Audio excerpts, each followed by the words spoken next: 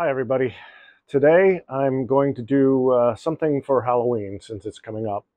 Um, and actually it can be used for Halloween, it can be used for fall decor. Um, this is something I've seen quite a bit on Etsy, I've seen it on Pinterest, and I've made a few and I've actually sold quite a few of these at craft shows.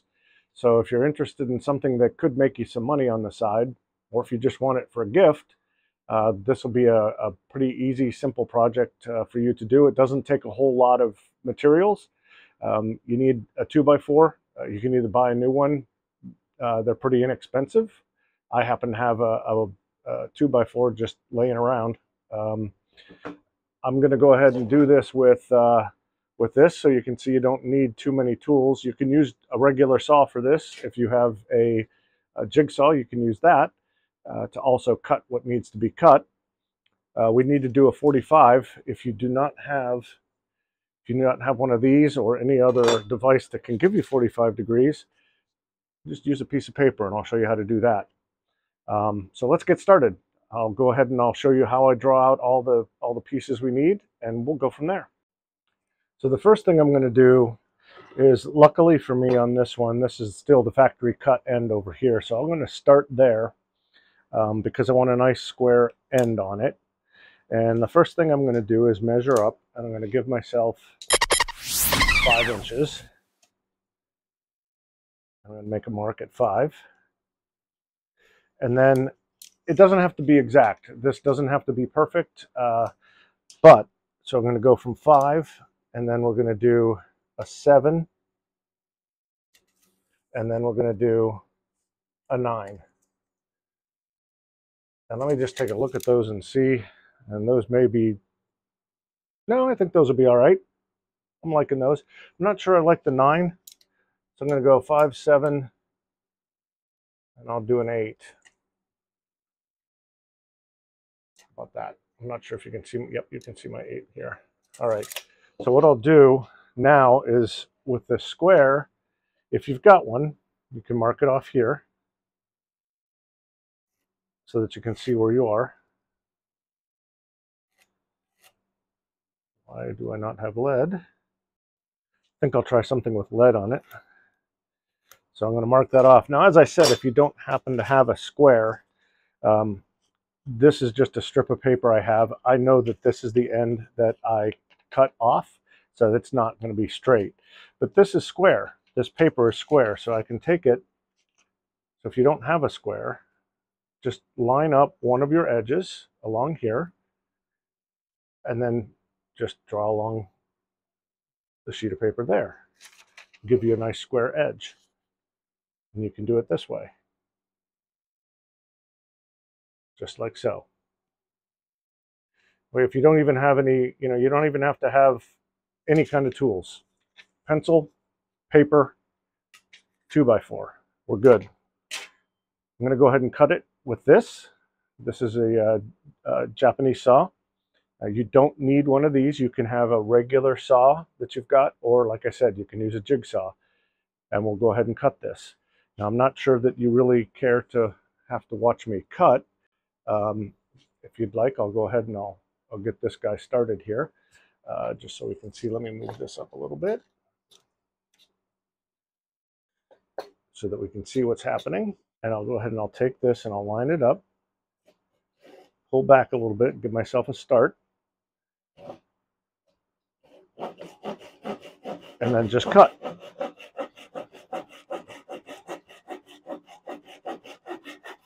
I suppose I could get one of my um, clamps and clamp this thing down. It would be better, but I'm impatient. I don't want to go over and get it. Okay, so there we have three pieces that are cut. There's our different sizes. And again, size, this, this is entirely up to you what size you make them. This is, like I said, five, seven, and eight and a half inches. It doesn't feel like that though. Why does it look off? That's exactly eight, I'm sorry. So five, seven, and eight inches. And that's perfectly fine with me. Now, again, if you don't have yourself a square, Okay, so next what we need to do is what we're making here are um, are cats. They're black cats that we're making. And what I'm going to do is I'm going to want to make their ears. So I'm going to need a, a piece that comes in like this, like a V. And again, if I've, I've got my um, square, so I can easily take the square and I can draw this line from the corner. And then I can come over here and draw this line from the corner. And that's going to give me a nice, nice set of ears on him. Pretty easy to do. But what happens if you don't have one of these? You don't have a square. Well, the first thing you want to do is we can do this again with a piece of just white paper, uh, a laser printer paper, typing paper, what have you. Now, what we want to do though is we want to find center of these. Now, if you're like me, I don't like trying to figure out fractions. So this is three and a half inches wide. I don't like doing fractions. So what I'm going to do instead is a little trick is I'm going to take this and I'm going to put this on, I'm going to make sure I'm right at one or at zero, right there on that corner and set this up so that this hits four. I know that half of four is two. So I'm going to make a mark right at the two. That is now dead center on this piece of wood. And if you want to check that, come in, that is one and three quarters. And that is also one and three quarters. So it's pretty simple. Everyone, if you don't know it, now you do. Uh, now what I want to do is I want to make sure that I have this center line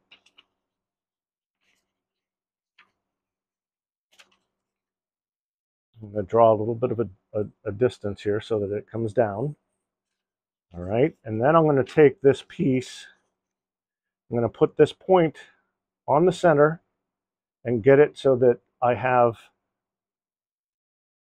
these, and it doesn't matter where they are on here, as long as this is centered, this is going to give me even set of ears on this. The hardest part is to draw with the piece of paper, but it can be done, especially if you don't have all the tools. And there you go. There's a set of ears for you. It's perfect. So now again, we're going to go ahead and cut the ears out. And, and we're just going to go ahead and use this uh, Japanese saw. And again, you can use a um, jigsaw. You can use, I don't know that I would use a table saw. You can use a bandsaw all sorts of options here. I am going to go get a clamp and clamp this down and I'll get this done. be right. I'm hoping uh, I recorded the part where I said all I'm going to do next is sand. Um, I apologize if it wasn't going. Um, all I did is just roughed up or cleaned up all of the edges on here so there's nothing sharp, no splinters sticking out. You just rub your fingers along them. Make sure you don't feel anything coming out that's going to hurt somebody um, like I just did there. And you just want to get all the little edges cleaned up. There we go. That's much better. All right. So now what we want to do is we want to go ahead and paint these all black. We're just going to do a solid coat of paint, uh, solid coat of black on here. I just use these uh, uh, craft paints. Uh, you can do the same. Uh, if you've got black latex, go ahead and use that got myself a little closer here. I'm going to go ahead and do these uh, one at a time on here.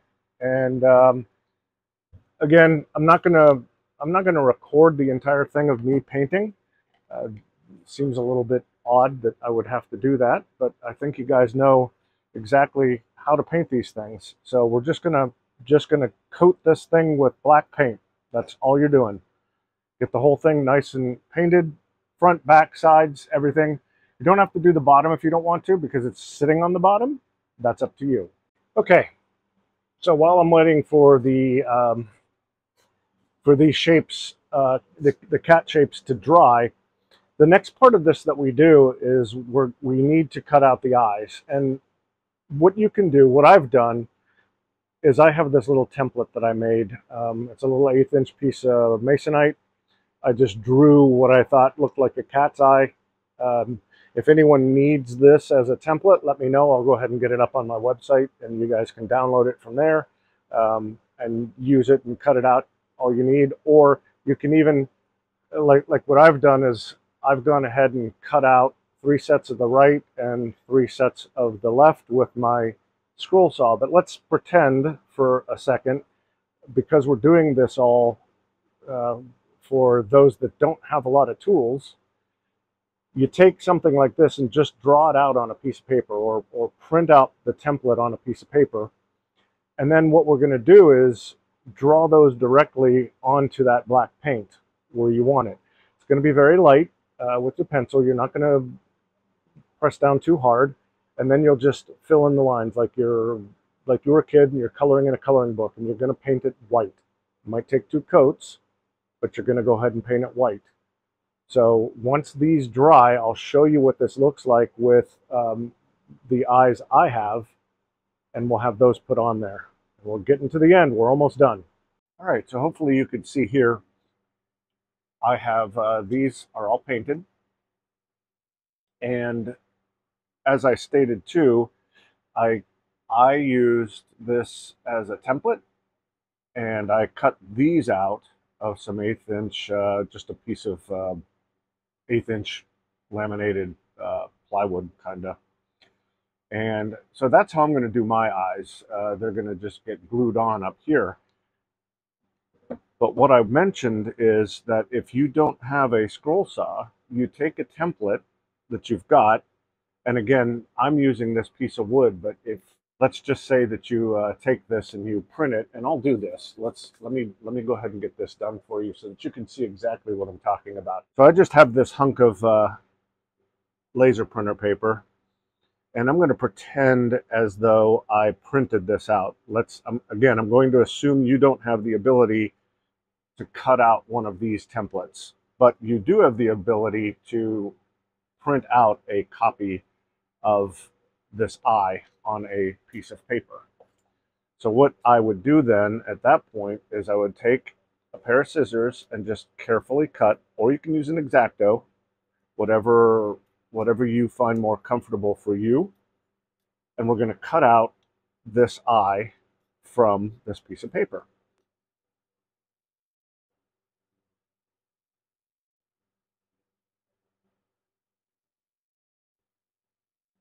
Keep in mind when you're cutting this stuff, it doesn't have to be perfect. Uh, you're the one making the eye. You make it how you want it to be. So we take this eye and we place it where we think we would like it to be on here. And then we would take our pencil and just draw around it. Now what I'm trying to do here is I'm trying to keep mine just inside the paper because I'm going to be gluing my eyes on here and I don't want the pencil marks to show. Uh, they probably will and I'll probably have to just paint over them or something, but that's all right. So we'll take this and we would draw this on here with our piece of paper and now we have an eye. Um, you're going to just act like you're a kid with a coloring book and you're going to take your white paint and you'll paint right inside of here. Now, as I stated, I'm not doing that. I'm going to be gluing these eyes right into place like so. And that that's going to be my cat eyes right there.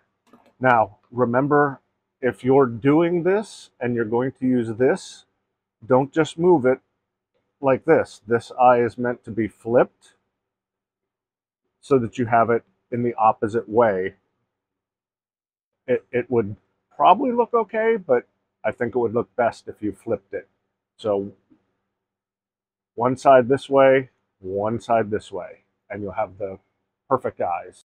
Okay, so I've got my eyes glued on, um, and again, you can easily just go in and get yours and get them painted into place. Uh, and they'll they'll be just as good. I just like doing this because I have a shaky hand. I'm not real good at the, the fine painting like that.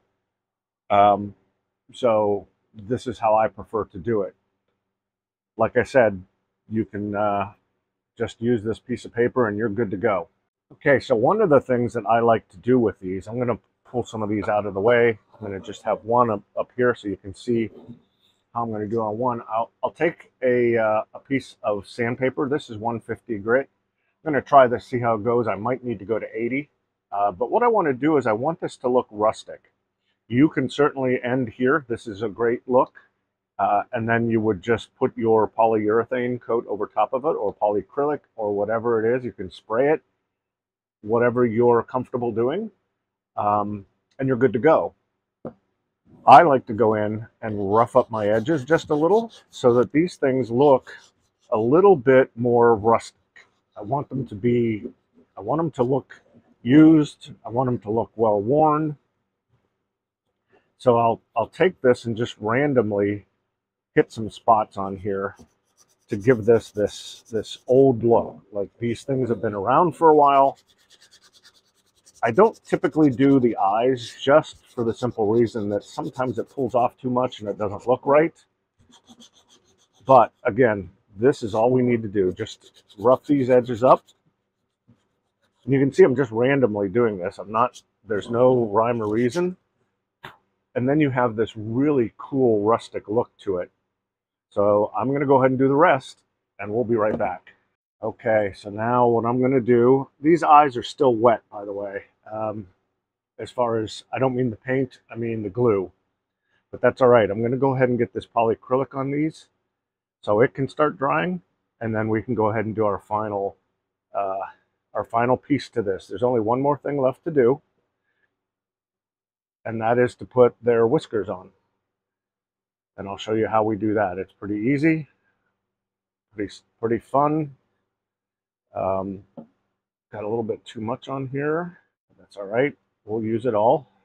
Now, one thing you'll notice that's happening here is my eyes, the black paint, because I was impatient, I did not sand, I did not wipe off after I sanded. And so there's a little bit of uh, the, the dust from the black paint on here. And so what's happening is it's moving over to the eyes. Um, so what I'll do is I'll just take this and gently wipe that clean. And it's okay if they look a little bit dirty, as it were, especially if you do this rustic look. Now, if you're not going for the rustic look, just be a little more cautious with how you do this, uh, how you put this stuff together, how you get it on here, and just make sure you wipe off all your your sanding dust so that you don't have this same issue that I'm having currently. And again, I'm I'm fine with it. I knew it was going to happen, but I like to have a little bit of that dusty, dirty look to the eyes because again, I've got this the roughness uh, here where it's got this worn look to it. So I'll go ahead and I'll get that all on here. Um, and then I'll go ahead and I'll take and I'll just gently wipe. All right, there we go. I'll go ahead and get these finished and we'll be right back. All right, so what I'm going to do now uh, is I'm going to just take this uh, this twine, um, just your normal thing of twine here. I got this, I think, at one of the big box uh, hardware stores. Not sure which one. And then I've gone and I've taken just like so and kind of done a, a rough measurement. So I came around and I want this to be, I want this to kind of be like out to here. I want to have enough room. So I'm just kind of bringing it around like this and you'll see why in a second. Um, and then what I did is I just doubled it over and just made, I, I got it so I have four lengths that are the same, same length, if that makes sense. So what I've done is now I have these four like so, and they make this kind of uh, a, a, a, a big rope, as it were. I'm going to take this, and maybe it'd be a good idea to kind of twist it a little bit so that it stays together. Bring it around. And then you want these to be even on both sides, or as close to even as you can get. And then I'm going to take and tie a knot right in the center, just like so, just underneath the eyes.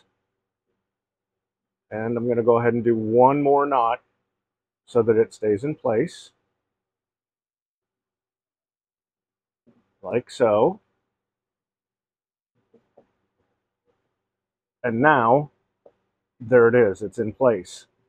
Uh, what I'll do too is I, I like to take these under, they're the whiskers, so they're both coming out on the same side. Get those out here.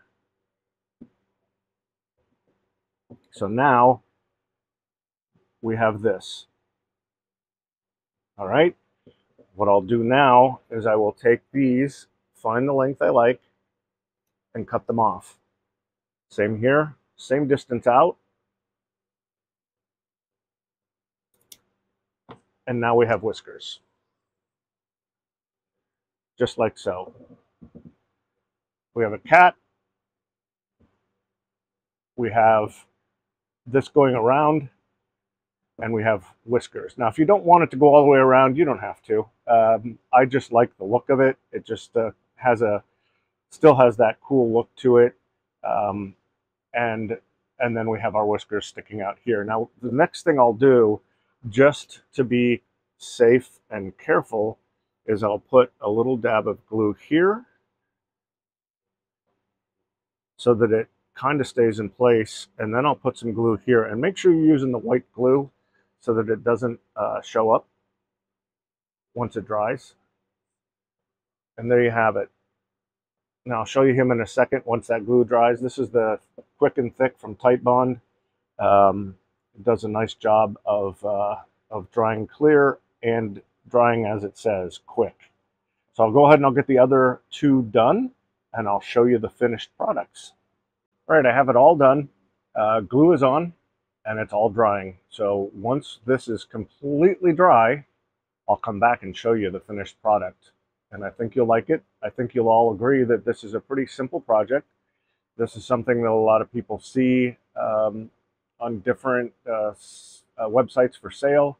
And like I said at the beginning, if you're uh, if you're going to a craft show of any kind, uh, these things sell like hotcakes. People love these things. And don't be surprised, I, I sell them as a set of all three. I have had people say, hey, I only want one, and I'll break up a set uh, just to make a sale, as I'm sure any of you would also do as well, um, because they're so easy to make. I, I usually batch these out like in sets of 10, so I'll have 30 of these things ready to go. So very good. So I'll see you here shortly once this is all dry. Well, we've got them dried up ready to go. That's what they look like. All three of them, all done. Pretty simple project, pretty easy to do. Uh, so I'm hoping you guys will go out and give this thing a shot. Uh, like I said, I will go ahead and get these eyes, um, the template for that up on my website, and I'll I'll point you to where that is. And uh, again, I'm not a professional as far as making these templates. It's just going to be a hand-drawn thing. So don't expect uh, a high quality vector file that you can get elsewhere. It's just going to be a JPEG. Uh, you download it, you just resize it, whatever your program is. I'll make it to these size so that they do fit on this 2x4, just as you see it here. I do want to thank you all for watching, for subscribing, for sharing, for commenting. All of that stuff helps. And on top of that, I think what I'm going to do this time is I'm going to put a, um, uh, there'll be a little notice on, on this one in the description. I'm going to have a giveaway for this. Uh, it's going to last uh, two weeks. Uh, after I post this, for the two weeks after it's been posted, if you give me a thumbs up and put a comment in the comment section under this under this video, I will go ahead and put your name in for a drawing and you can win all three of these guys. Um, I'll just, I will ship them to you only within the United States. I do apologize for uh, my international friends, uh, but uh, this will be only for in the US. I will ship them to you at no charge. You'll get all three of them. Again, all I need is a, uh, a like, I'm sorry, yes, a like, thumbs up, and a comment. And then I'll go through these and I will pick somebody and we'll get a lucky winner. So Again, thank you all for watching. Thanks for subscribing, for liking, commenting, and don't forget, go out and carve. I know this isn't a carving, but still, go out and carve.